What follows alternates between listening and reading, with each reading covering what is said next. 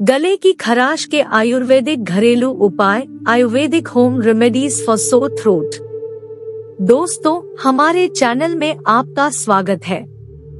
आज के वीडियो में हम बात करने जा रहे हैं एक आम समस्या के बारे में, जिसे हम सभी ने कभी न कभी महसूस किया है। गले की खराश की मौसम के बदलते समय में यह समस्या बड़े आम रूप में आ सकती है। आज के वीडियो में हम आपको बताएँगे उस समस्या से निजात पाने के कुछ आयुर्वेदिक घरेलू उपाय। पर इससे पहले आप हमारे चैनल को सब्सक्राइब ज़रूर कर ले ताकि आपको हमारे स्वास्थ्य और वेलनेस से जुड़े नए वीडियो नोटिफिकेशन मिलते रहें। गले की खराश के कारण और लक्षण causes and symptoms of sore throat सबसे पहले हम बात करेंगे कि गले की खराश क्यों होती है। और उसके क्या कारण हो सकते हैं? मौसम के बदलने पर ठंडी खाद्य पदार्थों का सेवन करने से या रात को आइसक्रीम खाने से गले की खराश हो सकती है।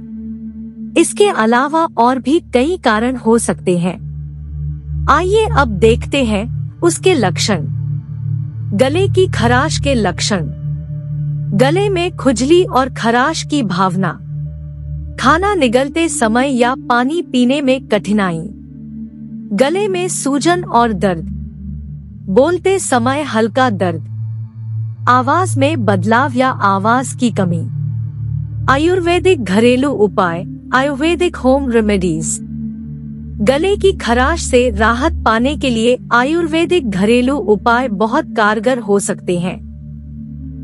यहाँ हम आपको कुछ ऐसे उपाय बताएँगे जो आप आसानी से अपना सकते हैं। आयुर्वेदिक घरेलू उपाय गले की खराश के लिए। रेमेडी एक अदरक और शहद, जिंजर एंड हनी। पहला उपाय है अदरक और शहद का मिश्रण। अदरक में एंटी इंफ्लेमेटरी गुण होते हैं और शहद गले को सुखद बनाता है। आइए देखते हैं इसे कैसे तैयार किया जाता है? एक छोटे से टुकड़े को कद्दूकस करें।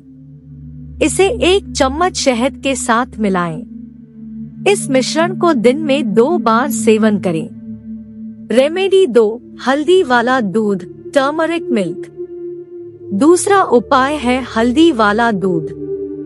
हल्दी में करकुमिन होता है, जिसमें एंटीबैक्टीरियल गुण होते हैं। यहाँ देखते हैं कि इसे कैसे तैयार किया जाता है। एक कप दूध को गर्म करें। एक चुटकुले हल्दी का पाउडर मिलाएँ। अच्छे से मिलाएँ और सोने से पहले पिए। रेमेडी तीन नमक वाला गरारा सॉल्ट वाटर गागल तीसरा उपाय है नमक वाला गरारा। नमक वाला पानी सूजन को कम करने में मदद करता है और बैक्टीरिया को मारता है। इसे करने के लिए निम्नलिखित चरणों का पालन करें। गर्म पानी में आधा चम्मच नमक मिलाएँ। इस उपाय को दिन में कई बार करें। निष्कर्ष और सावधानियाँ कंक्लूजन एंड प्रिकॉशंस याद रखें, ये उपाय मददगार साबित हो सकते हैं। लेकिन यदि आपकी खराश कुछ दिनों से ज़्यादा दिनों तक बरकरार रहती है तो आपको एक चिकित्सक से सलाह लेनी चाहिए। इसके साथ ही आपको पर्याप्त पानी पीना, अच्छे से आराम करना और ठंडे खाद्य पदार्थों जैसे कारणों से बचना भी आवश्यक है। घरेलू उपायों के फ़ायदे बेनिफिट्स ऑफ़ होम रेमेडीज ये आयुर्वेदिक घरेलू उपाय न केवल आपकी गले की खराश को दूर करने में मदद कर सकते हैं, बल्कि ये आपके शरीर के अंदर से भी खराबत को खत्म कर सकते हैं। घरेलू उपायों के फ़ायदे। आपके शरीर के विभिन्न हिस्सों की सुरक्षा करते हैं। विशेष तौर पर अदरक में एंटीऑक्सीडेंट गुण होते हैं। शहद और हल्दी के मिश्रण से आपकी आवाज़ में सुधार हो सकता है। नोटिस और सलाह, नोट एंड एडवाइस। यहाँ तक आयुर्वेदिक घरेलू उपायों का एक सार देख लिया।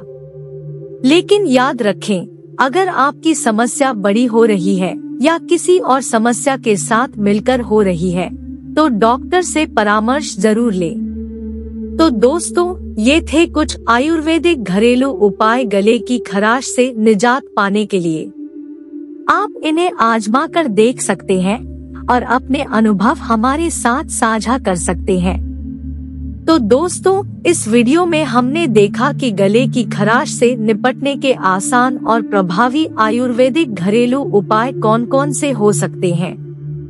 याद रहे, ये उपाय केवल सामान्य खराश के लिए हैं, और यदि आपकी समस्या बढ़ रही है तो आपको चिकित्सक से सलाह लेनी चाहिए।